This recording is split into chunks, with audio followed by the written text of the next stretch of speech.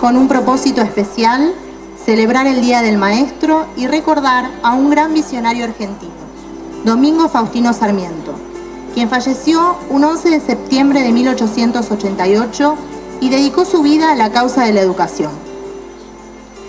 Él entendía que la misma era la base sobre la cual se construiría un Estado democrático, sólido y una sociedad justa. Es la educación primaria la que civiliza y desenvuelve la moral de los pueblos. Son las escuelas la base de la civilización, decía el prócer. Asimismo, el pasado 8 de julio se cumplieron 140 años de la promulgación de la Ley 1420 de Educación Común. Hito en la historia de nuestro país que se debe, en parte, al influyente trabajo de Sarmiento. Los educadores reconocen esta ley y a la educación toda como un instrumento poderoso de transformación social que derriba barreras, promueve la igualdad de oportunidades y permite que las voces de todos se hagan escuchar. Reconocen del mismo modo a quien fue un maestro y estadista, propulsor de la educación pública.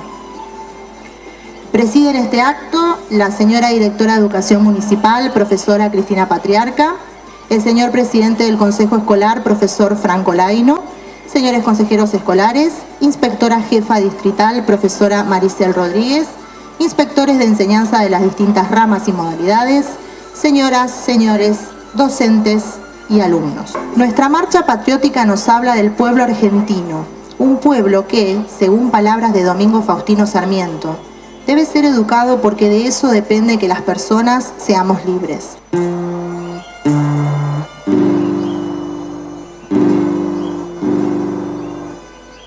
-hmm. you.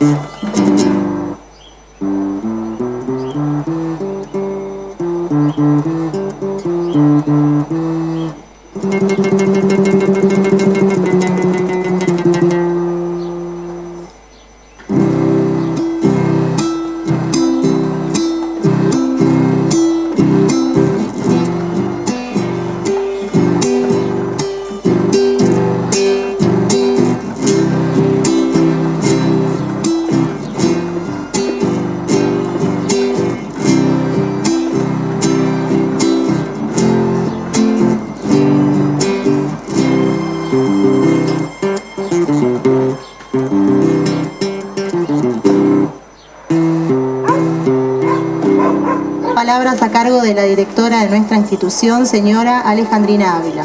Buenos días a todos. Hoy nos reunimos para homenajear una de las profesiones más nobles y fundamentales de nuestra sociedad, la enseñanza. Y al hablar de enseñanza, de educación, de educadores y de educadoras, inmediatamente evocamos a un gran referente de nuestra historia, Domingo Faustino Sarmiento.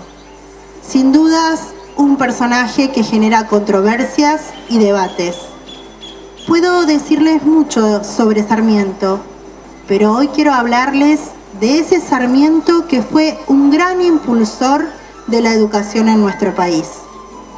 Hace 168 años ocupaba el cargo de jefe de departamento de escuelas. Dos años después sacó una ley la Ley 200, que destinaba fondos a la construcción de escuelas. En 1875 impulsa la Ley 1888, también conocida como la Ley Sarmiento, una legislación clave en la historia educativa de Argentina. Este año conmemoramos los 140 años de la promulgación de la Ley 1420, un hito en la historia de la educación en nuestro país.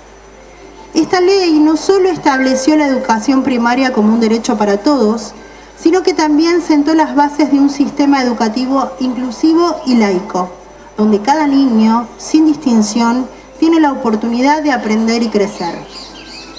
Sarmiento inaugura el concepto de infancia moderno, el niño como alumno, un niño que debe estar en la escuela, que es impulsado por primera vez a leer, leer tempranamente, a estudiar, a formarse como ciudadano. Sarmiento estaba convencido de la necesidad del Estado. Estaba convencido de que el único aporte que se puede hacer al futuro de una patria es la educación. En la actualidad, las leyes de educación nacional y provincial, junto con las diversas políticas educativas implementadas, han puesto en el centro el ejercicio del derecho a la educación y han generado nuevas formas de hacer escuela. Estas reformas han profundizado la enseñanza de múltiples maneras, priorizando la intensificación de la lectura, la escritura y la matemática como prácticas emancipadoras.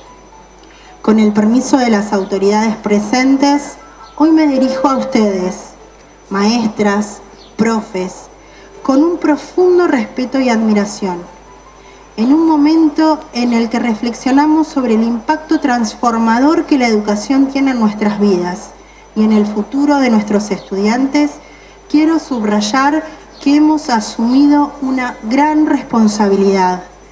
Somos parte integral de un sistema educativo que reconoce a la educación primaria como el cimiento sobre el cual se, construye el futuro de nuestros estudiantes. Ustedes son los verdaderos arquitectos de ese futuro.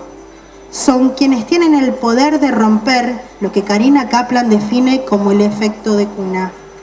Su dedicación diaria, su paciencia infinita y su amor por la enseñanza son los pilares que sostienen el desarrollo integral de cada niño.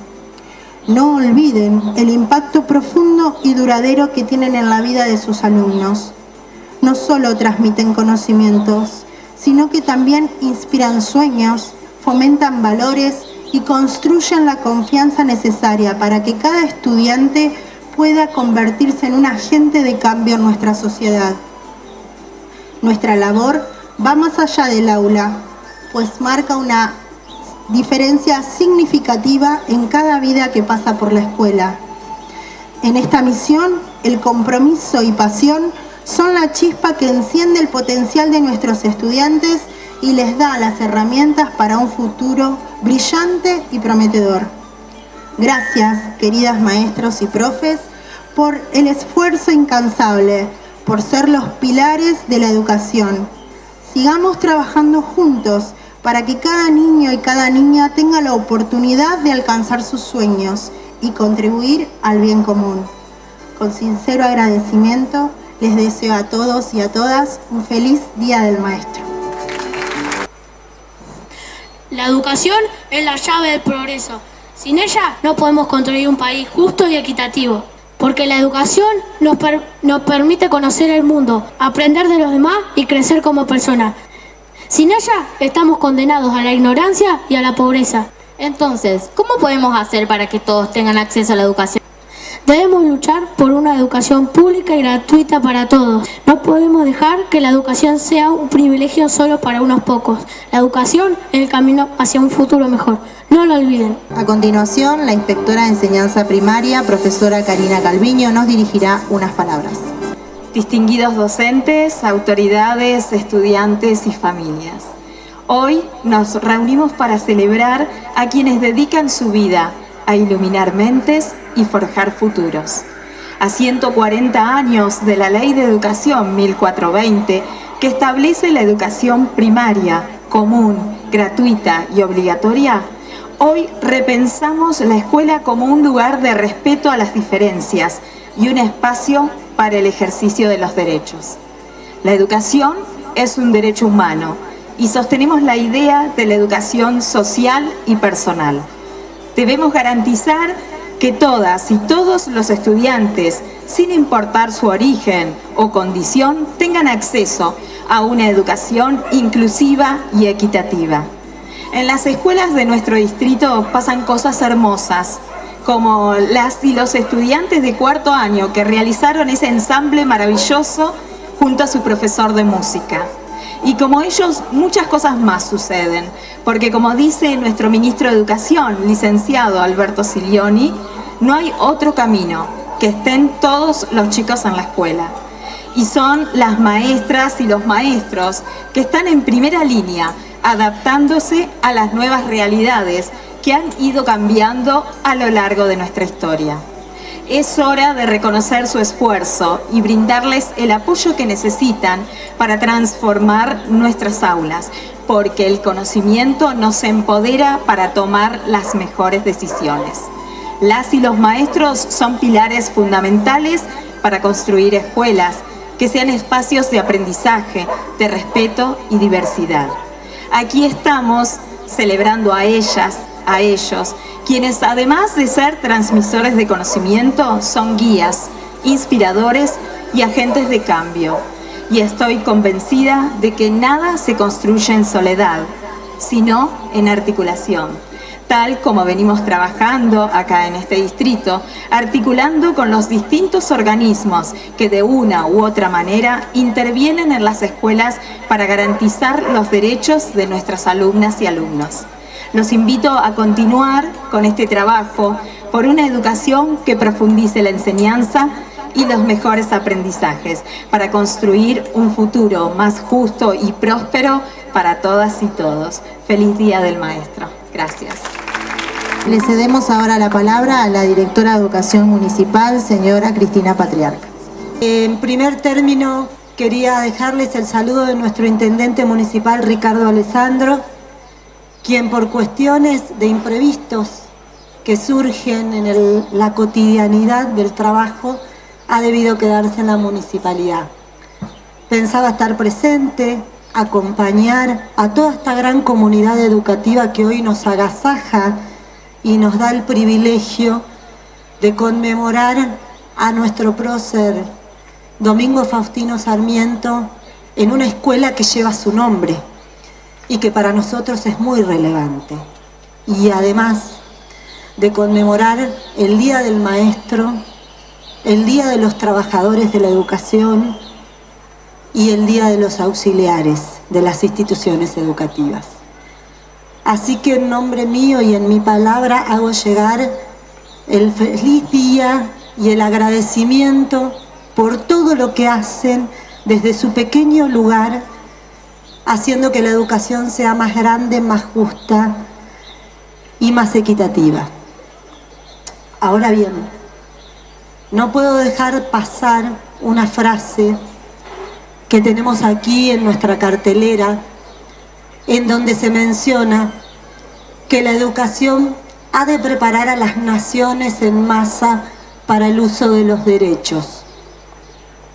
De los derechos estuvimos hablando en las distintas actuaciones, lo mencionó la directora, nuestra inspectora de nivel primario, los estudiantes, la representación que hicieron los estudiantes de educación primaria, y en el hacer que hacemos todos los docentes, los directivos, inspectores y demás trabajadores de la educación en el hacer cotidiano.